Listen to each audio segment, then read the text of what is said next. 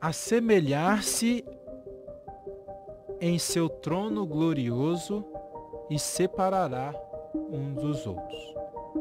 Paz e bem, seja bem-vindo a mais um sabor da palavra.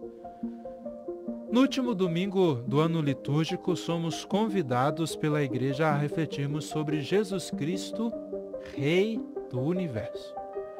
O Evangelho do fim dos tempos é carregado de significados em suas linhas. Jesus Cristo aparece como o Rei soberano que está para julgar, mas aparece ainda como a figura do pastor que apacenta o seu rebanho na imagem dos pobres, excluídos e humilhados.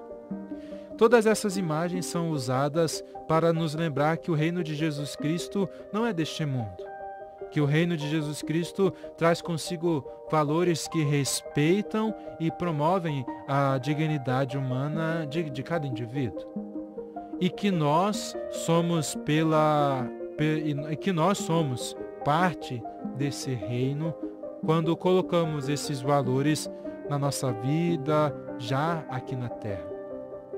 Sejamos verdadeiros, verdadeiras testemunhas do Cristo Rei do Universo e pastor de toda a humanidade, colocando em prática os seus ensinamentos e sua vontade de justiça, paz e dignidade para todos os seus filhos e filhas.